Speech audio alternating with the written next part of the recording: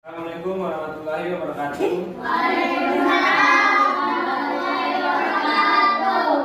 Terima kasih banyak buat adik-adik yang udah datang nih nyempetin waktunya. Jadi di sini saya mau menjelaskan biar adik-adik tahu semua nih. Kan adik-adik kan eh, masih SD nih sekolah dasar biar biar tahu. Saya di sini kan mau menjelaskan tentang kegunaan Word. Jadi biar adik-adik tahu nih semua eh, kan masih sekolah dasar terus nanti SMP bakal kepake. SMA kuliah ntar udah tinggal nerusin doang tuh terus eh, pertama-tama perkenalkan dulu ya namanya satu-satu ya Halo, nama saya Grani dari SDN Jagakarsa 03 pagi, kelas 4. Halo, nama saya Arya. Saya da- dari SD no- 01 pagi. Halo, nama saya Galang dari SDN Jagakarsa 01 pagi, kelas 6. Halo, nama saya 03 pagi, kelas 1B. Kenalkan nama saya Al- Alvin. Saya sekolah di SDN Negeri 06. Saya kelas 2. Nama saya Firman Ananda Rizky dari SDN Jagakarsa 03 pagi. Saya kelas 6. Halo, nama saya Dava. Da- saya dari sekolah SD Jagakarsa 01 pagi, kelas 4. Halo, nama saya Arka dari SD 06 pagi juga Karsa kelas 5. Saya Zubair. Saya dari, saya dari sekolah SD Alisan. Saya kelas 4B. ini eh, ada yang tahu itu Word Word udah pernah dengar Word belum? Word itu merupakan perangkat lunak eh, yang terpopuler terpopuler di dunia. Jadi aplikasi-aplikasi lain Word tuh pasti ada di setiap PC atau laptop.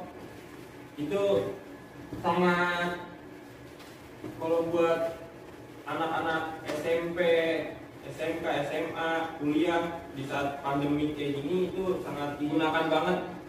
Karena kan lagi kayak gini nih di rumah aja nih. Sekolah-sekolah semua. Makanya tugas-tugas kalau udah yang SMK, SMA, kuliah tuh pak pakai Word. Saya menjelaskan kayak gini kegunaan Word tuh adalah eh, dia tuh pertama membuat dokumen. Jadi bikin dokumen bikin brosur kartu nama terus bikin bikin buku kayak bikin profil hidup bisa bisa dilihat eh, tampilan wordnya. Di lembar pertama samping file ini nih, samping file. Yang samping biru ini, ini kan ada ada file home insert design back layout. Terus dan lain-lain tuh eh, versi view. Itu eh, jatuhnya ke namanya itu tab. Setiap setiap tab tuh kayak home. Dia punya fungsinya masing-masing. Kalau home kan ngatur ukuran size font dari pengetikan terus di sini juga ada zoomnya. Jadi kayak kalau word tuh bisa di zoom. Kalau misalkan ini kan ada plus ada ada min. Jadi kalau misalkan min itu kecil kalau plus itu gede. Tinggal diketik aja. Terus ini misalkan adik-adik pada ngetik nih. Jadi ini kan ada lembar kerjanya. Jadi ini buat pengetikannya nih yang di ini nih jadi kalau misalkan ngetik dari atas sampai bawah ntar dia kelihatannya di sini.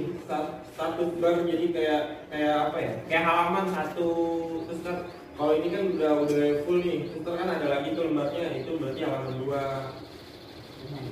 Coba dilihat. Ini kan yang tadi tuh yang saya bilangin kan yang tab. Ini kan ada home insert yang balik lagi ke sini nih yang biru. File ini bisa dilihat nih eh, kalau misalkan kita mau edit size ukuran pengetikan terus kayak mau nebelin nebelin nebelin tulisan kita kayak tebel gitu adanya di home. Terus di sini juga ada uh, buat ini rata ini rata nih rata dilihat dilihat di sini ada rata kiri ada rata tengah ada rata kanan. Jadi ini nanti kalau misalkan sesuai sama prosedur yang pengetikannya ntar bisa di bisa diatur. Lihat coba. Ini kan ada satu dua tiga nih.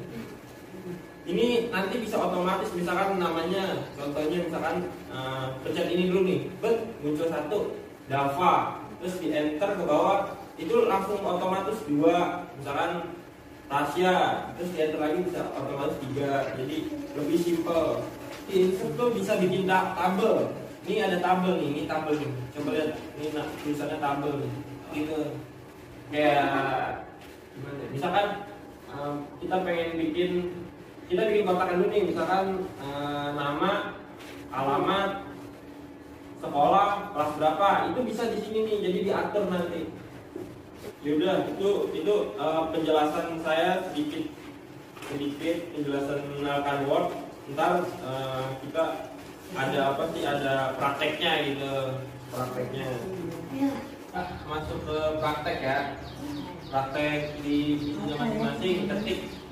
Nanti tulisan tulisan tulisan ketikannya cari Times New Roman terus ukurannya ukuran ketiknya ukurannya 18 terus ada judulnya. Judulnya main layang-layang main layang-layang itu huruf gede semua. Di posisinya ada di tengah. Terus ntar baru ngetiknya.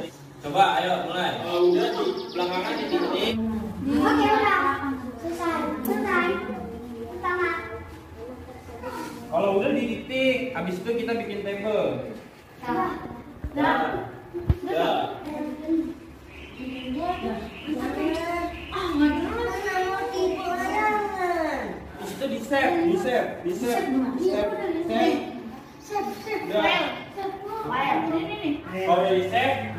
di di X di X pokoknya ini basic doang ini basic saya biar kalian kalian tahu nih nih oh ternyata Word tuh kayak gini kan banyak tampilannya